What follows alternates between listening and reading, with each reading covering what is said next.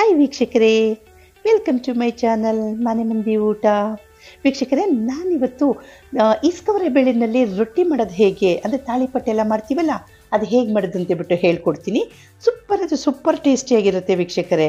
ಇವಾಗ ಹೇಗೂ ಅವರೆಕಾಳು ಸೀಸನ್ ಬೇರೆ, ಅವರೆಕಾಯಿ ಸೀಸನ್ ಕೂಡ ತುಂಬಾ ತುಂಬಾ ಟೇಸ್ಟಿಯಾಗಿರುತ್ತೆ ವೀಕ್ಷಕರೇ.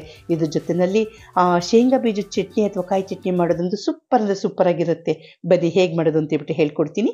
ಅದಕ್ಕಿಂತ ಮುಂಚೆ ಯಾರು ನನ್ನ ಚಾನಲ್ಲಿ ಸಬ್ಸ್ಕ್ರೈಬ್ ಆಗಿಲ್ಲ ದಯಮಾಡಿ ಸಬ್ಸ್ಕ್ರೈಬ್ ಆಗಿ. ಬನ್ನಿ ವೀಕ್ಷಕರೇ, ನೋಡಿ, ಇಲ್ಲಿ ನಾನು ಒಂದು ಬೌಲಷ್ಟು ಅಕ್ಕಿ ಹಿಟ್ಟು ತಗೊಂಡಿದ್ದೀನಿ. ಈ ಅಕ್ಕಿ ಹಿಟ್ಟಿಗೆ ನಾನು ಇಸ್ಕವರೆ ಬೇಳೆನ, ಅಂದರೆ ಅವರೆಕಾಯಿ ಸುಲಿದು ಬಿಟ್ಟು ನೆನೆ ಇಟ್ಬಿಟ್ಟು, ಅದನ್ನು ಸಿಪ್ಪೆಲ್ಲ ತೆಗೆದುಬಿಟ್ಟು ತೆಕ್ಕೊಂಡಿದ್ದೀನಿ. ಆ ಇಸ್ಕವರೆ ಕಾಳನ್ನು ಹಾಕಿದ್ದೀನಿ.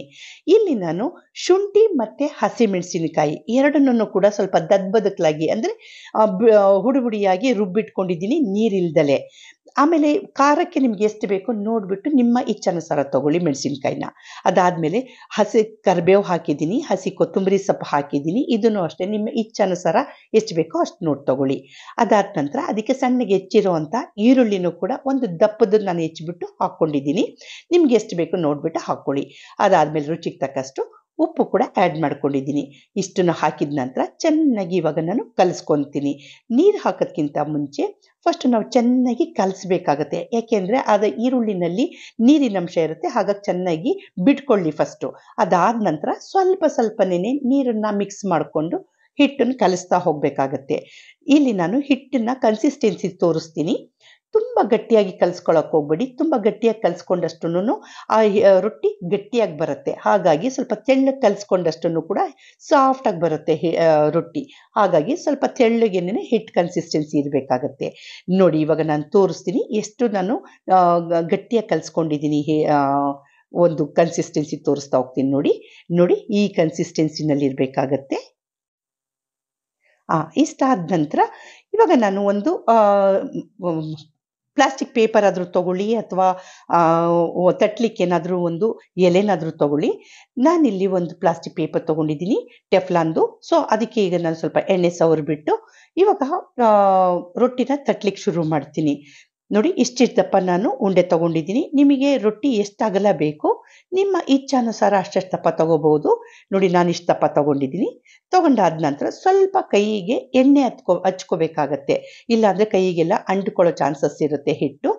ಹಾಗಾಗಿ ಸ್ವಲ್ಪ ಕೈಯಿನ ಎಣ್ಣೆನಲ್ಲಿ ಒದ್ದೆ ಮಾಡ್ಕೊಂಡ್ಬಿಟ್ಟು ಈ ಥರ ತಟ್ತಾ ಹೋಗಬೇಕಾಗತ್ತೆ. ನೋಡಿ, ಈ ಥರ ತೆಳ್ಳಗೆ ನಾವು ಕಲಿಸ್ಕೊಳ್ಳೋದ್ರಿಂದ ತಟ್ಟುವಾಗ ಕೂಡ ತುಂಬ ಈಸಿಯಾಗಿ ತಟ್ಬಿಡ್ಬೋದು. ನೋಡಿ, ನಮ್ಗೆ ಎಷ್ಟು ಅಗಲ ಬೇಕೋ ಅಷ್ಟು ಅಗಲ ನಾವು ತಟ್ಕೋಬಹುದು ನೋಡಿ, ಇಷ್ಟೆಲ್ಲ ತಟ್ಟಿದ್ದೀನಿ ನಾನು. ಇದಾದ ನಂತರ ಇಲ್ಲಿ ಒಂದು ಹೆಂಚುನಿಟ್ಟಿದ್ದೆ ಬಿಸಿಗೆ. ಇವಾಗ ಸ್ವಲ್ಪ ಎಣ್ಣೆನ ಗ್ರೀಸ್ ಮಾಡ್ಕೊಳ್ತಾ ಇದ್ದೀನಿ. ಇಲ್ಲಿ ಆದಷ್ಟು ಕೂಡ ಕಬ್ಬಿಣದ ಹೆಂಚಲ್ಲಿನೇ ಮಾಡೋದಕ್ಕೆ ಟ್ರೈ ಮಾಡಿ. ಏಕೆಂದರೆ ಎಲ್ಲ ಥರ ರೊಟ್ಟಿಗಳನ್ನು ಕೂಡ ಕಬ್ಬಿಣದ ಹೆಂಚಲ್ಲಿ ಮಾಡಿದ್ರೆ ಚೆನ್ನಾಗಿರುತ್ತೆ. ಹಾಗಾಗಿ ಆದಷ್ಟು ಕಬ್ಬಿಣದ ಹೆಂಚನ್ನೇ ಯೂಸ್ ಮಾಡೋ ಟ್ರೈ ಮಾಡಿ. ಇನ್ ಕೇಸ್ ಮನೆಯಲ್ಲಿ ಇಲ್ಲವೇ ಇಲ್ಲ ಕಬ್ಬಿಣದ ಹೆಂಚು ಅಂತ ಅಂದರೆ ಏನು ಮಾಡೋಕ್ಕಾಗಲ್ಲ. ನಾನ್ ಸ್ಟಿಕ್ಕನ್ನೇ ಯೂಸ್ ಮಾಡ್ಕೊಳ್ಳಿ. ನೋಡಿ, ಇವಾಗ ನಾನು ಅದು ಹಿಟ್ಟನ್ನು ಸಾರಿ ರೊಟ್ಟಿನ ಇವಾಗ ಹೆಂಚಿನ ಮೇಲೆ ಹಾಕಿದ್ದೀನಿ. ಹಾಕಿದ ನಂತರ ಸ್ವಲ್ಪ ಎಣ್ಣೆನ ಮೇಲ್ಗಡೆ ಎಲ್ಲ ಗ್ರೀಸ್ ಮಾಡ್ತಾ ಇದ್ದೀನಿ ಹಚ್ತಾ ಇದ್ದೀನಿ ರೊಟ್ಟಿ ಮೇಲ್ಗಡೆ. ಹಚ್ಚಿದ ನಂತರ ಈಗ ಒಂದು ಕಡೆ ಈಗ ಕ್ಲೀನಾಗಿ ಬೆಂದಾಗಿದೆ. ಬೆಂದ ಆದ ನಂತರ ಇವಾಗ ಎರಡನೇ ಸೈಡನ್ನು ಕೂಡ ಇವಾಗ ತಿರುಗಿಸಿ ಮಗ್ಚ್ಬಿಟ್ಟು ಹಾಕ್ತೀನಿ. ನೋಡಿ, ಇವಾಗ ಒಂದು ಸೈಡ್ ಬೆಂದಾಗಿದೆ. ಈಗ ಎರಡನೇ ಸೈಡನ್ನು ನಾನು ಇವಾಗ ಮತ್ತೆ ಎಣ್ಣೆನ ಸ್ವಲ್ಪ ಗ್ರೀಸ್ ಮಾಡ್ತಾ ಇದ್ದೀನಿ. ಈ ಥರ ಗ್ರೀಸ್ ಮಾಡ್ಕೋಬೇಕಾಗತ್ತೆ ಎಲ್ಲ ಕಡೆಗೂ ಕಾಣಿಸ್ತಾ ಇದೆಯಲ್ಲ? ಈ ಥರ ಈ ಥರ ಮಾಡಿದ ನಂತರ ಎರಡೇ ಸೈಡನ್ನು ಕೂಡ ಕ್ಲೀನಾಗಿ ಬೇಯಿಸ್ಕೋಬೇಕು. ಬೇಯಿಸ್ಕೊಂಡಾದ್ಮೇಲೆ ನೋಡಿ ಈ ಥರ ಸೆಂಟ್ರಿಗೆ ಮಾಡಿಬಿಟ್ಟು ಕ್ಲೀನಾಗೆಲ್ಲ ಲ ಬೇಯಿಸ್ಕೊಳ್ತಾ ಹೋಗಬೇಕಾಗತ್ತೆ. ನೋಡಿ ಕಾಣಿಸ್ತಾ ಇದೆಯಲ್ಲ? ಸೂಪರ್ ಅಂದ್ರೆ ಸೂಪರ್ ಟೇಸ್ಟಿಯಾಗಿರುತ್ತೆ ವೀಕ್ಷಕರೇ. ಈ ಥರ ಒಂದು ಈಸ್ಕೋರೆ ಬೇಳೆ ರೊಟ್ಟಿ ಮಾಡ್ಕೊಂಡಂತೂ ಸೂಪರ್ ಅಂದರೆ ಸೂಪರ್ ಆಗಿರುತ್ತೆ. ನೀವು ಕೂಡ ಒಂದ್ಸರಿ ಮನೆಯಲ್ಲಿ ಟ್ರೈ ಮಾಡಿ ನೋಡಿ ವೀಕ್ಷಕರೇ. ಹೇಗೂ ಇವಾಗ ಸೀಸನ್ ಕೂಡ ಇದೆ ಅವರೆಕಾಯ್ದು ಸೊ ತಂದುಬಿಟ್ಟು ಸುಲಿದ್ಬಿಟ್ಟು ಸ್ವಲ್ಪ ನೆನೆ ಇಟ್ಬಿಟ್ಟು ಅದು ನೆಂದಾದ ನಂತರ ಇಸಕ್ಬಿಟ್ಟು ಈ ಥರ ರೊಟ್ಟಿಗೆ ಹಾಕ್ಬಿಟ್ಟು ಮಾಡ್ಕೊಳ್ಳಿ. ಸೂಪರ್ ಆಗುತ್ತೆ ವೀಕ್ಷಕರೇ. ಈಗ ಎರಡನೇ ರೊಟ್ಟಿನೂ ಕೂಡ ಇದೇ ಥರ ನೆನೆ, ತಟ್ಟಿದ್ದೀನಿ.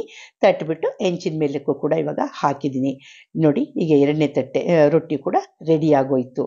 ಇದನ್ನು ಕೂಡ ಅದೇ ಥರನೇ ನಾನು ಸ್ವಲ್ಪ ಎಣ್ಣೆನ ಎಲ್ಲ ಕಡೆ ಗ್ರೀಸ್ ಮಾಡಿಬಿಟ್ಟು ಮತ್ತು ಸುತ್ತ ಎಲ್ಲ ಹಾಕ್ಬಿಟ್ಟು ಬೇಯಿಸ್ಕೊತೀನಿ ವೀಕ್ಷಕರೇ.